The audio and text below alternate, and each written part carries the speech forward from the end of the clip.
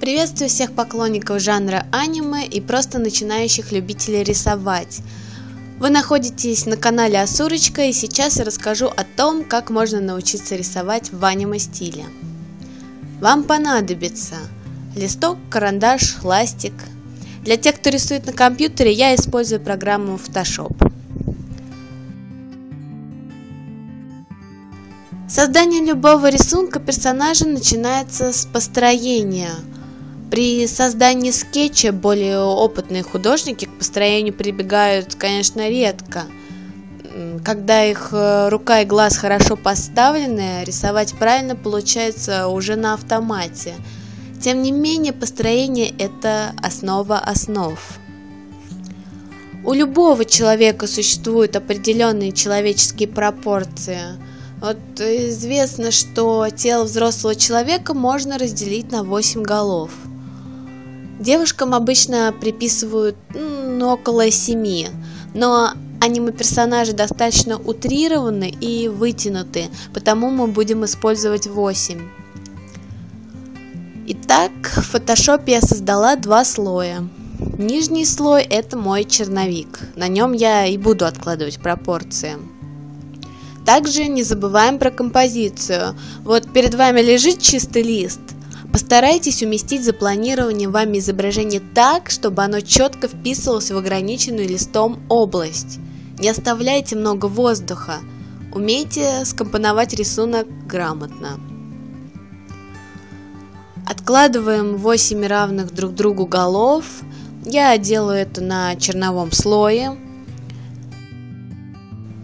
Обозначаем еремную ямку то место, где сходятся наши ключицы. Для этого делим вторую голову пополам. От еремной ямки в стороны откладываем две головы. Это ширина плеч. Половину второй головы делим еще раз пополам. Это основание шеи.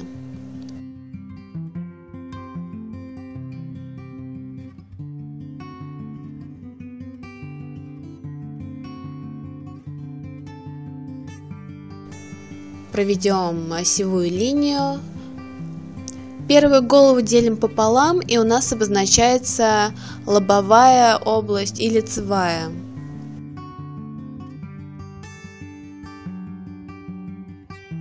Под основанием второй головы обозначается грудь. Отложив от еремной ямки треугольник, мы находим расположение сосков. Поделив третью голову, мы обозначаем талию.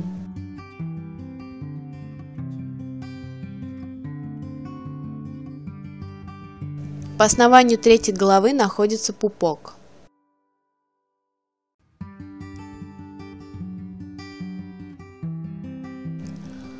Основание туловища обозначаем примерно в конце четвертой головы.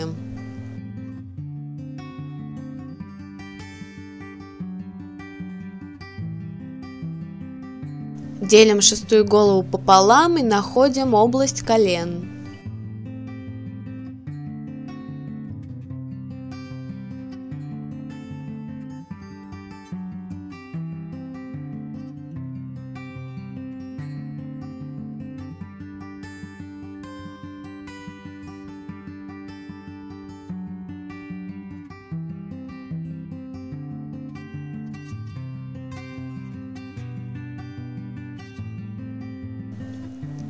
Середина восьмой главы – это стопы.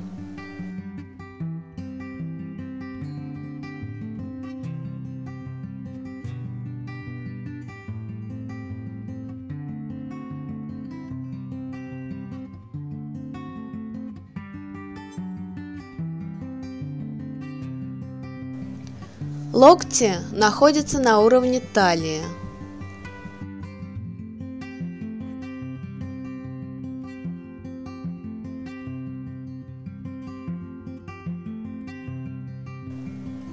Предплечье доходит до основания туловища.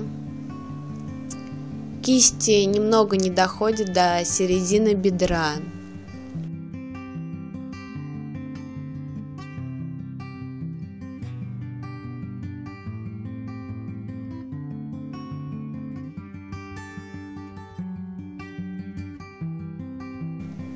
Обозначим глазницы.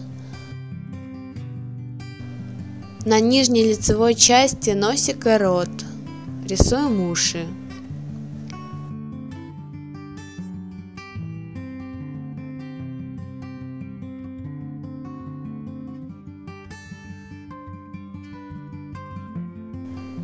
Теперь все слои, которые у меня создались путем копирования голов, я объединяю в один черновой, делаю его прозрачным и начинаю дорабатывать рисунок поверх нижнего слоя.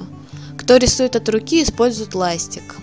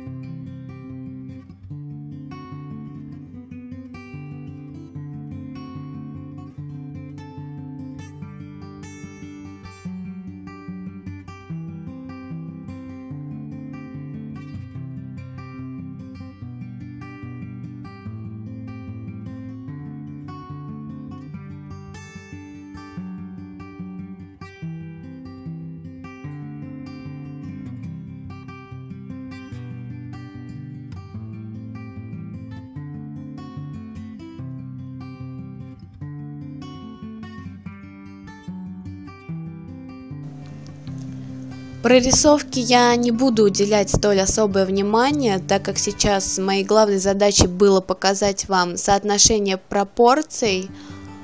В последующих моих уроках мы создадим полноценный рисунок аниме-девочки а, с интересным расположением отдельных частей тела, чтобы вы могли рисовать не только человека-болванчика, по ходу рисования полноценной работы я буду разбирать более детально такие вопросы, как создание лиц, рук, ног, пальцев и так далее. И постепенно мы создадим симпатичную картинку. А пока вы можете создать для себя некую схему, чтобы потом ориентироваться по ней в рисовании пропорций. Вот такой болванчик аниме девушки у меня получился.